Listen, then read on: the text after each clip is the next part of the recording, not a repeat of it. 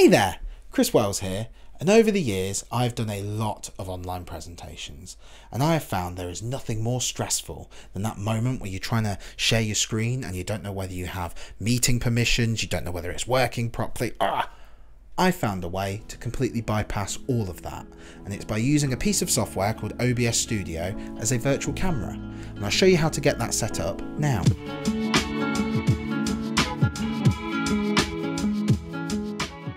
Okay, so you've downloaded and installed OBS Studio, you've opened it up and it should look something a little bit like this. Don't be too overwhelmed by it, it's okay, it's not actually as complicated as it first looks. So right here we have this big black box in the middle, this is going to be our main output from OBS. At the minute as nothing is set up, it's outputting just a blank screen. Down here, we have our scenes. Think of them as our camera one, camera two, the different angles that we will be cutting between. Our sources will be what each of those camera angles will consist of. So let's start with scene one.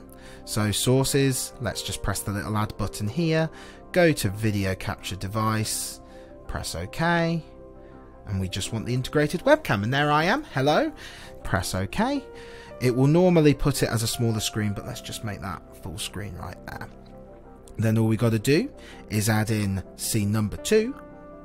And then obviously there are no sources added at the minute, but we can just change that by going add source, display capture, pressing OK, and then switching to our second monitor, which is what our PowerPoint is set up on.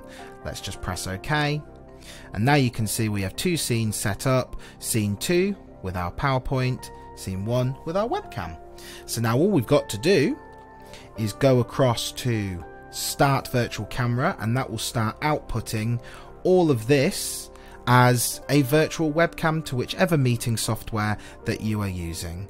And as you can see, it's already outputting the PowerPoint presentation, brilliant. And then all you've got to do on OBS is go back, click to scene one. Wow, hello, how's it going? Let's go back to there. Wow, isn't that great? Come back. Hey, how's it going? Hope you're doing good. Yeah, great. Let's go back to the PowerPoint.